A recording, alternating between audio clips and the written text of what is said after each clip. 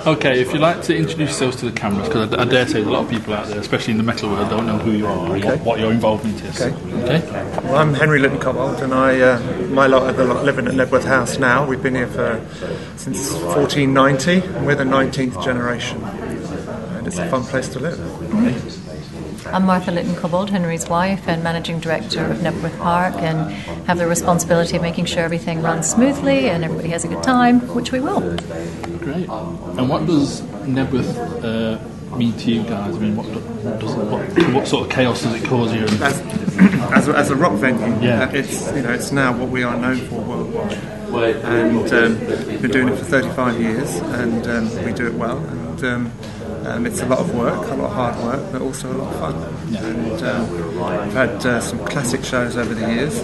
Um, we've, uh, interestingly, the week after Sonisphere, we've got two separate groups of uh, Led Zeppelin fans turning up to, to be at the place that they were at, the very field that they were at 30 Mm. years ago.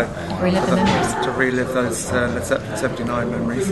And no doubt in 30 years' time there'll be people coming back to be in the same field they were at witnessing Metallica here in 2009. And what sort of uh, input do you guys have uh, to the actual running of the thing? We run the entire park, so um, really anything that happens here needs to go through us. Um, the promoter and his team, the production team, are extremely well qualified and experienced and know what they're doing.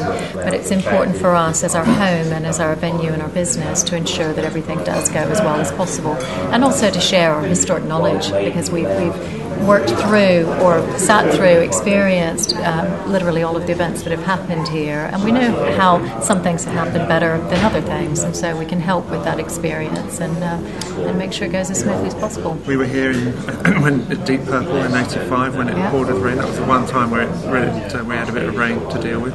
Phoned every farmer in the area to borrow tractors and Yeah, get people out. cars. Yeah, yeah. But it was still a great show. Even that, you know, even, in fact, actually the rain was amazing. It looked fantastic that show.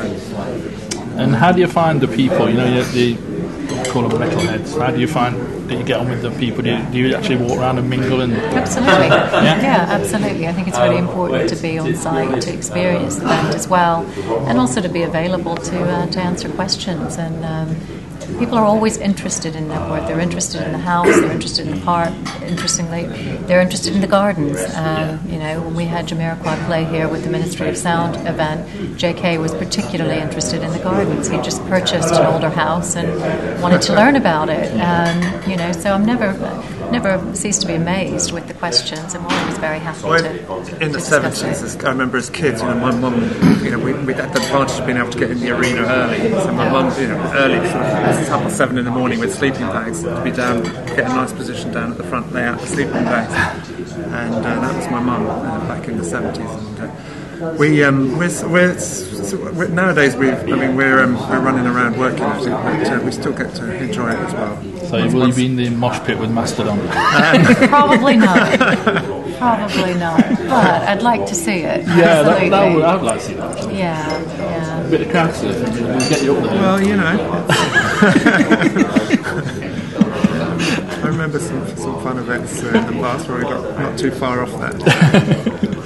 And what's the? I mean, uh, I can imagine the massive and mayhem after. I mean, how long does it actually take to clear up after? It's surprisingly quick. It's a well-oiled machine, and, and you know the equipment that comes in is, is fascinating to see. And you've got to clear it for the next day. Each each day is its own event day, so to speak. And so we, we want it to look as fresh and as perfect for the second day as it is for the first.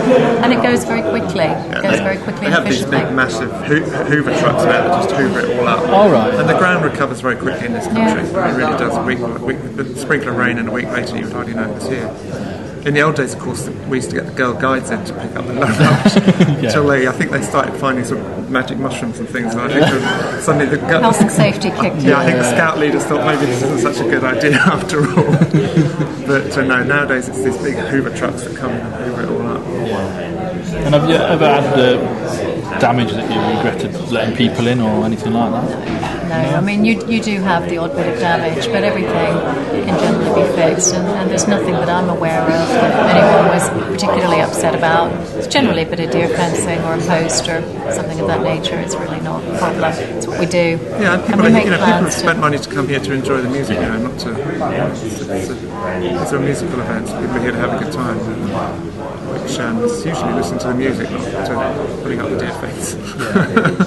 And, and does the, the does the oh, so obviously the money helps with the keep of the hall and everything. Absolutely, yeah. uh, Is that the main thing that helps you keep going, or is the opening the hall as well helps you keep going? It um, the concerts really really help in terms of our leisure in- infrastructure. I Yeah. mean, um, um, I'm afraid the problem with the house itself is bigger than that.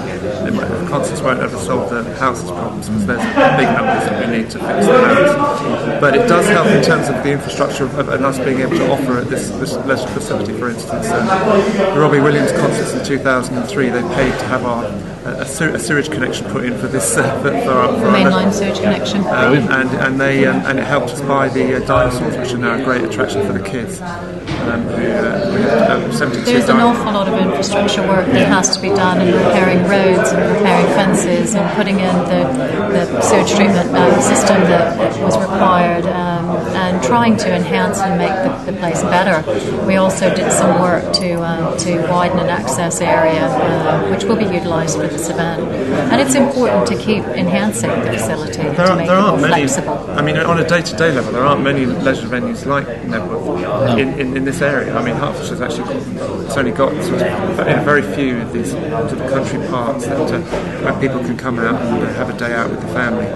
And so, um, so it's important that we keep, you know, we keep in tune with that, and that we um, provide a. I mean, okay, the, the, the big events every that come along every once in a while are fantastic, but we also have this regular day-to-day clientele. And, uh, Part of the portfolio of what we do. Yeah, We do an awful lot of different things filming, concerts, Yeah. conferences, weddings, day visitors.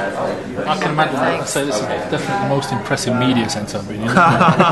Yeah, this is an old uh, 16th century barn which uh, we lifted uh, in the early 70s. We lifted up, put it on wheels, One of these. All right. yeah, and um, and dragged it with a traction engine a mile from the village and plumped it down here. And at the time, it was the largest ever intact building to be moved on wheels. Um, and um, so yeah, this is actually an old barn that was uh, had uh, grain in it and sheep and cows for 500 There's some pictures in the hallway. Have a look uh, just as you go, and um, it shows it before and after.